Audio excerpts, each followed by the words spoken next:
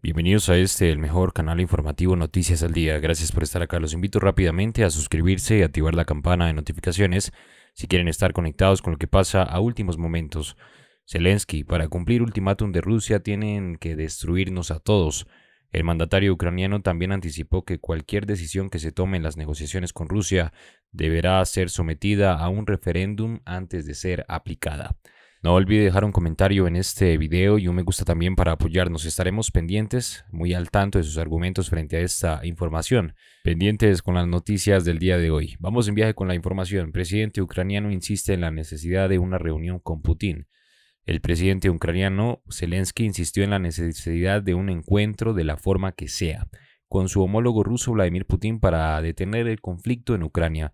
Creo que sin este encuentro es imposible comprender plenamente a lo que los rusos están dispuestos para detener el conflicto, declaró Zelensky en una entrevista en medio público regional ucraniano. El Pentágono ayuda a recopilar pruebas eh, del conflicto por parte de Rusia en Ucrania. El Pentágono informó que está ayudando a recopilar pruebas del conflicto cometidos por Rusia en Ucrania ante posibles procesos en el futuro para que los autores rindan cuentas ante la justicia. El portavoz del Departamento de Defensa de Estados Unidos dijo en una rueda de prensa que están contribuyendo al proceso de investigación. No obstante, lo que salga de eso no es una decisión que vaya a tomar el liderazgo del Pentágono, indicó el portavoz. Por otra parte, Asamblea ONU prevé votar esta semana sobre crisis humanitaria en Ucrania. Francia y México han hecho circular entre el resto de estados miembros un borrador que pide a Rusia un cese inmediato de las hostilidades, critica el sitio de ciudades como Mariupol y exige que se proteja a la población civil.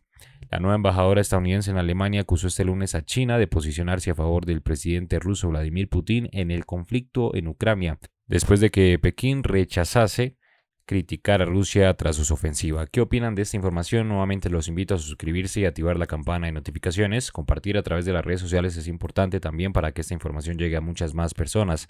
Gracias por estar acá. Esto es Noticias al Día. Hablábamos de que el ejército ruso este fin de semana, en la noche del sábado y del domingo, había lanzado misiles de crucero, también misiles hipersónicos. Es la primera vez que se utiliza este tipo de misiles desde que comenzó la guerra el pasado 24 de febrero. Es la primera vez que se utiliza en una guerra. Explíquenos, por favor, ahora qué es un misil hipersónico y cómo funciona.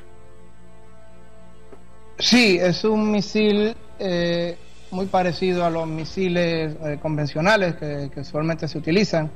La diferencia clave es que la velocidad, la velocidad es muy superior eh, puede ir posiblemente cinco veces la velocidad del sonido, eh, experimentalmente hablando, y posiblemente hasta más, eh, pero es muy, muy superior la velocidad y pueden cargar cargas convencionales de explosivos, como esta que se fue utilizada para destruir este centro de municiones, o pueden cargar, y esto es lo importante, cabezas nucleares, o sea que también pueden ser un arma nuclear.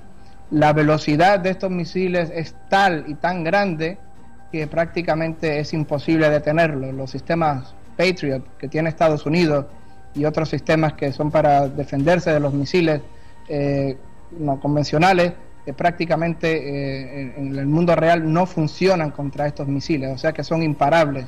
Eh, tienen prácticamente, me parece que 2.000 kilómetros de alcance, o sea que tienen un alcance enorme eh, y obviamente son un arma increíblemente poderosa, especialmente si se considera que van cargados, podrían estar cargados con cabezas nucleares. Usted acaba de decir que son imparables, pero ¿cuán fácil es detectar este tipo de misiles? Muy difícil, eh, por eso mismo que son imparables. La velocidad es tal que los sistemas de radares, las defensas ah, antiaéreas que tiene Estados Unidos, que tiene OTAN, eh, prácticamente no funciona. Eh, el tiempo de reacción necesario para que los radares detecten a un misil y, entonces los, eh, los misiles antiaéreos Patriot sean disparados contra ese misil y los otros también que tiene Estados Unidos para misiles, por ejemplo, mucho más grandes, más pesados, ICBMs, esos no se pueden utilizar porque no tienen suficiente tiempo de reacción y, no, y los misiles eh, convencionales, antimisiles convencionales, no tienen la velocidad suficiente para interceptarlos en el aire. O sea que prácticamente estamos hablando de un 98, 99, plus de por ciento de posibilidades que este, estos misiles hipersónicos sean imparables, no puedan ser detenidos. ¿Cree que, ¿Qué cree que usted que ha cambiado para que Moscú utilice este tipo de misil? ¿Por qué ahora? ¿Por qué en este momento?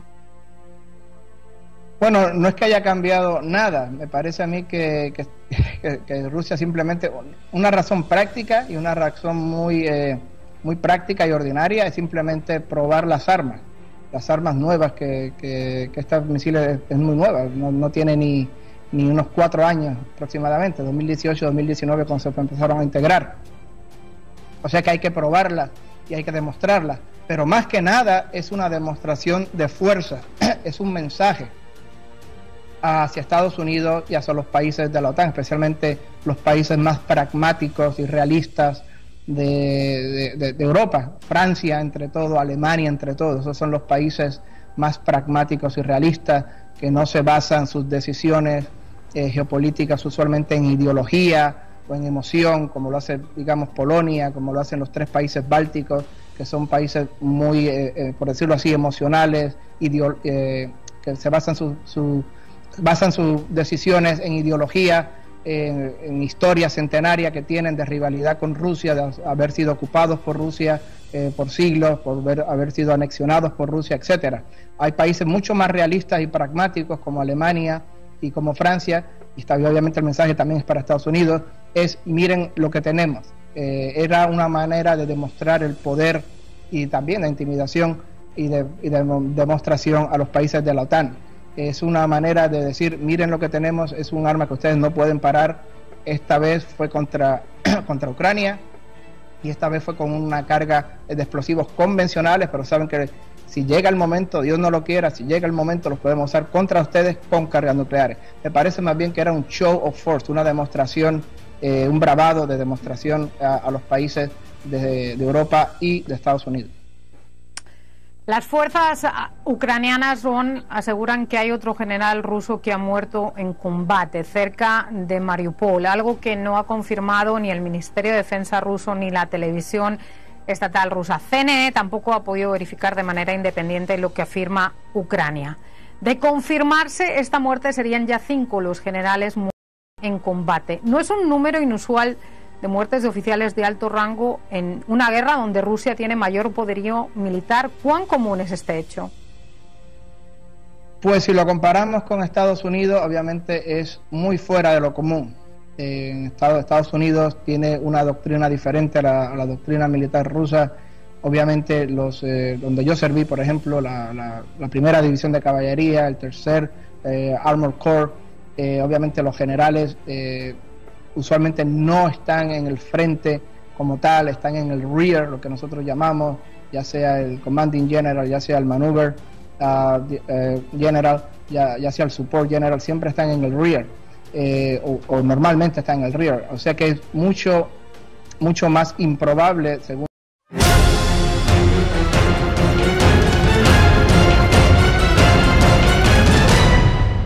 Si no te quieres perder de los últimos acontecimientos que pasan en el mundo, suscríbete y activa la campana. Somos Noticias al Día.